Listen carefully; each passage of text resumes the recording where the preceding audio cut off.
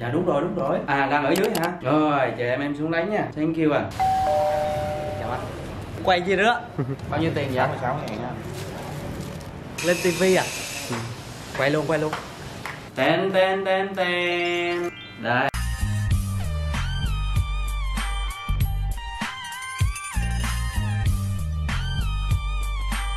Bún đậu mắm tôm nhá cái mẹt nhỏ mà đây là đúng là cái mẹt của văn phòng. Có à, dưa leo rồi bún bún đậu nè chả.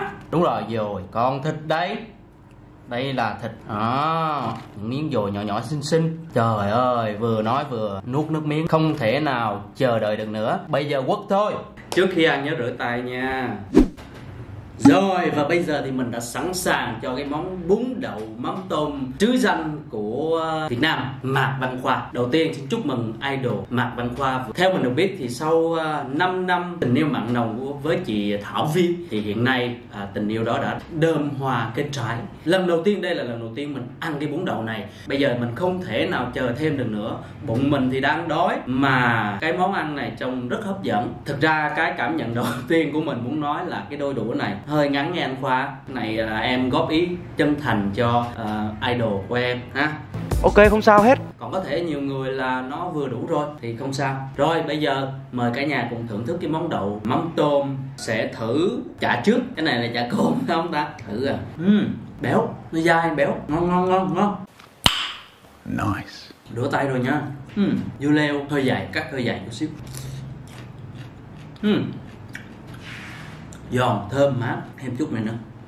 Mình là người thích ăn à, chua. Hơi chua chua chút xíu. Thêm chua. Thêm chua. Ngon mọi người ơi ngon ngon. Ngon. Uhm, uhm. trời ơi chả ngon. Ngon không chịu nổi anh ơi. Đấy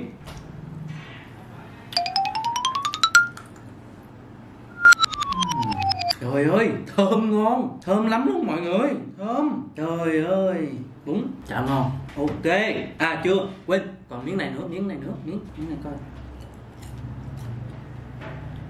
ấn tượng đầu tiên là mình thấy um, sạch sẽ nè ok. Cái này trái tắc à trái tắc trái quất này nè nhìn rất là tươi rất mới mua hôm nay hay sao á. Tươi ngon. Rồi tức là bún đậu từ um, đậu chả thịt. Chưa ăn thịt luôn á. Chưa ăn thịt luôn mọi người. Trời ơi quên. Rồi quất quất quất quất. Miếng kẹp miếng rau không? Kẹp miếng rau. Ồ oh. mm đã xong uh, buổi trưa văn phòng này các bạn. À, hôm nay lần đầu tiên mình thử uh, bún đậu mắm tôm của mạc văn khoa. Nghe nói rất là nhiều chi nhánh nhưng mình thì ở gần uh, trần quang khải. Và mình rất là hài lòng với cái món bún đậu này. Từ rau bún đậu chả thịt nước chấm. Nói chung mình rất là hài lòng với, với cái à, buổi trưa ngày hôm nay. Xong rồi trời ơi mình vừa ăn cái món bún đậu mắm tôm. Các bạn mà các bạn biết mắm tôm rồi nó thối nó thối mà không biết tí là các bạn nhân viên tới như thế nào. Trời ơi thối nhưng mà cực kỳ ngon rất là tuyệt vời. Cảm ơn anh à, idol mạc văn khoa. Chúc mừng à, anh chị một lần nữa. Chắc chắn là mình sẽ đến cái bún đậu mạc văn khoa. Bây giờ thì xin chào và hẹn gặp các bạn trong cái clip tiếp theo nhé bye bye. Tạm biệt.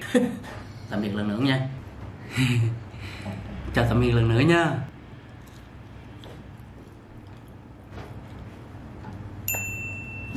Yeah được. Quay xong rồi quay xong rồi quay xong rồi. Tay quơ quơ quơ quơ